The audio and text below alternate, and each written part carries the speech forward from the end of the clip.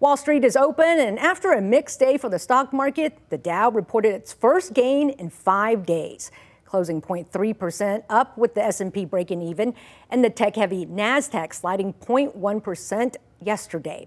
Shares for AI chipmaker Nvidia dipped following its highly awaited earnings report.